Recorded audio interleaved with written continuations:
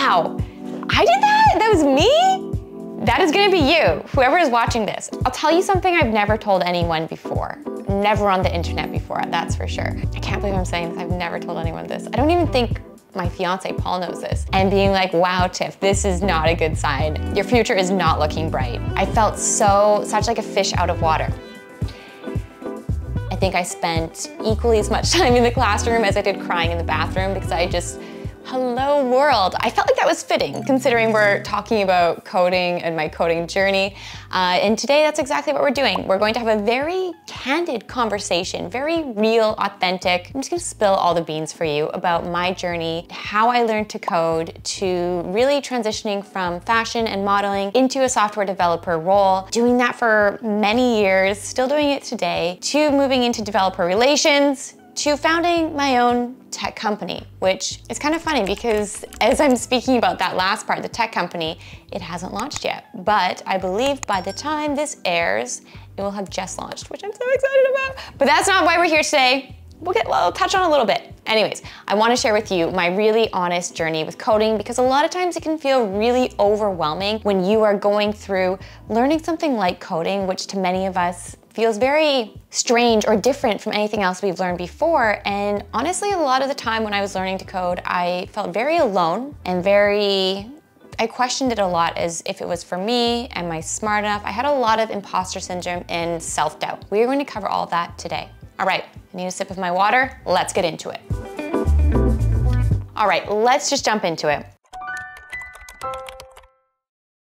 I'm gonna give you a bit of a backstory, and I know some of you might have heard this before, but I hope if you are someone who's been following me for many years or recently started following me that you'll find value in this, regardless of where you're at in your coding journey or learning something new journey, because it's always nice to hear others others' perspectives and journeys, and I don't think I've ever felt as comfortable sharing my full story as I do now. So let's just get into the meat. I remember when I first heard about coding. It was not until I was in university. I think I heard about it in the sense of movies and different things like that, but I was late to the game when it came to coding. I didn't go to a high school where there was computer classes required or I got to build anything even on a computer. I grew up in a very small town and that wasn't an option. So naturally what I focused on was I loved building different things, loved working with people. So I gravitated towards fashion because that to me was what that equated to. And from going into fashion, I I, had the opportunity to go model overseas in Hong Kong and throughout China. So I thought this is great. This is an amazing experience to go meet other people, travel, and you know, get paid to do so, doing modeling. Um, and that was a whole, an incredible experience. I met so many amazing people, but even, I hear this so often from others as well, even if that's not your journey, that's a very specific journey, but I hear about, you know, you're taking one path, but there's something missing. I felt very lost at times still or confused as where is my future going? What am I really doing? From there, I thought, okay, I need to take a step back and move back to Canada, where I live now, and or where I'm from and live now, and just pick the biggest city on the map because at the time I didn't want to go back to my small town that I grew up in. And so I said, let's go to Toronto. Check out Toronto. Don't know anyone there, never have been there, but we're gonna move there. Moved to Toronto, and at that point when I moved to Toronto, I was really craving more formal education. I wanted to go back to school to get a university Okay, we keep on getting cut off, but that is okay. We are back. Uh, now I have my phone on silent. How rude of me. No, so where was I at? I was at coming back to Toronto, starting university. And so for me, coming from a fashion background, I thought, okay, naturally it makes sense. Let's go to university for something fashion related. And I remember, I'll tell you something I've never told anyone before. Never on the internet before, that's for sure.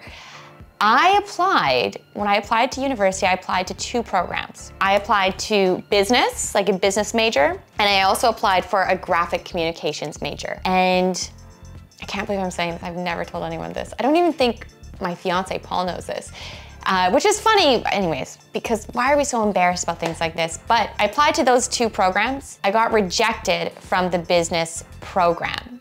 They said, nope, you're not good enough. I think it was my math grades from high school that weren't good enough, which is so funny looking back on. It was like such a blessing I didn't get accepted into that program because the rest just completely went in the right direction. But it's one of those moments where I remember receiving that rejection letter for business. Like, I feel like everyone gets into business and being like, wow, Tiff, this is not a good sign. Your future is not looking bright.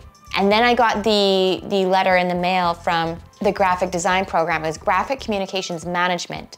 And I said, okay, they accepted me. Let's go see what this is about. I think it was a smaller program at the time, and that's why. If I'm being totally honest, I don't really know at the time what I thought I was signing up for. I think I just thought, I'm going back to school and we'll figure it out. And I was really excited to do to do just that, but I remember feeling so nervous and I, I don't even know how I had the courage to go on the first day. Like I thought, I felt so, such like a fish out of water.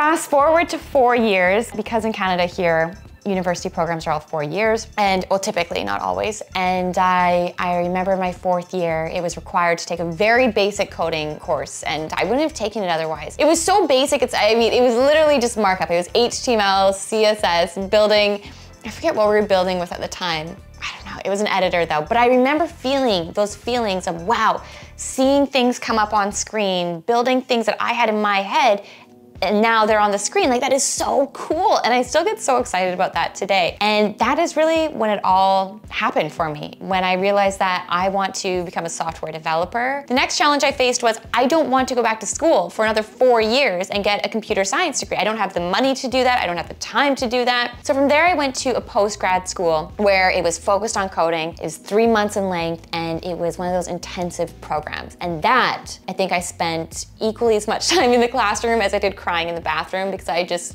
once again, felt so out of my comfort zone, out of my element. And it was during that time though, where I started realizing if I wanted to succeed in this, I needed to do so on my own time as well. I couldn't rely on solely others. So I started taking classes.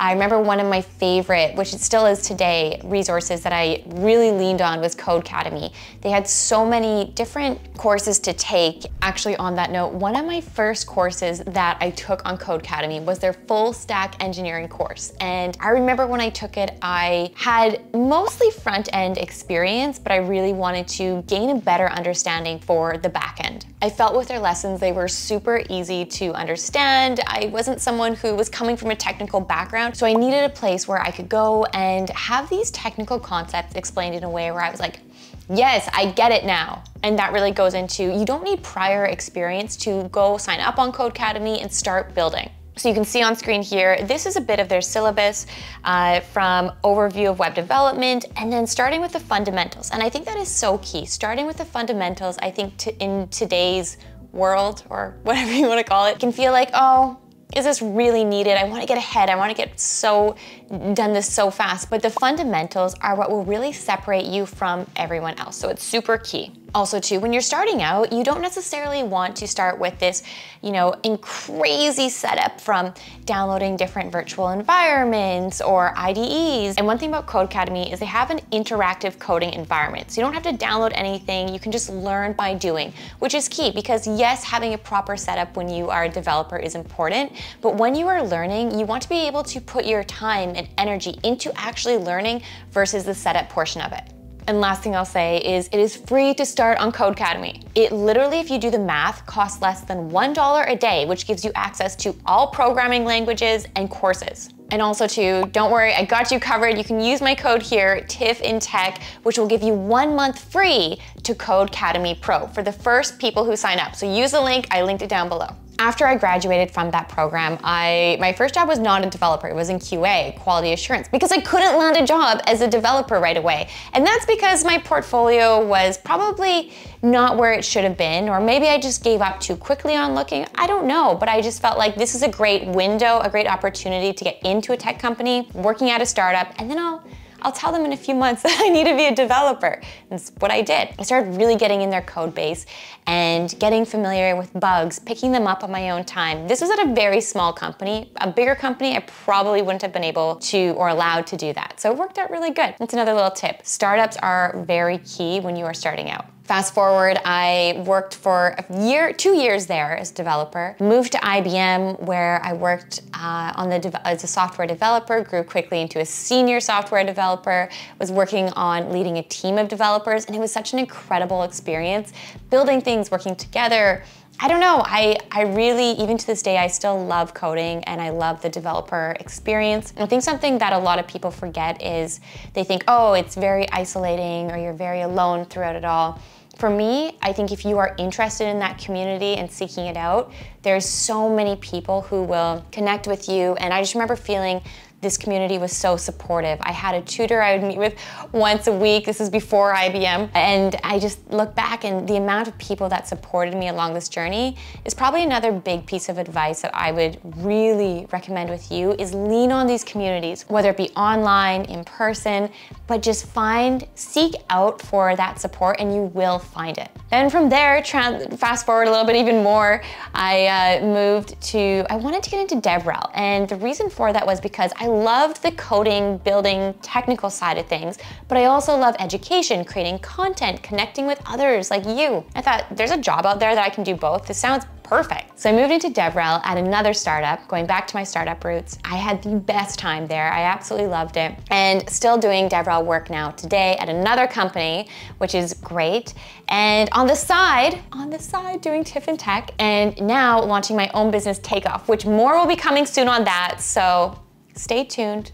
I will make an entire video dedicated to what exactly that business is about and uh, how it's gonna help support you. But in the meantime, that is my coding journey in a nutshell. And the most exciting part is it's not over. It never will be. And that's because I think it's so important to continue to always learn and grow. And going back to using resources like Codecademy, the internet is at your fingertips, or your fingertips are at the internet, whatever that saying is. You can literally learn so many amazing things online that you just need to really identify what you're passionate about or what you're not passionate about, which is equally as important, and then start building, but make sure most importantly, you have that community. I really hope you found this video helpful and insightful. I know it's me sharing my story, but for me, when I hear other stories, I feel like I always, there's always a lot I can take away and gain and just learning that when you're going through these highs and lows, you're not alone. Others have gone through them too. And I can tell you, as someone who has done it, the other side feels so good. You know, you put in all this work to learn how to code and grow a career. And once you get to that point where you can look back and really be like, wow,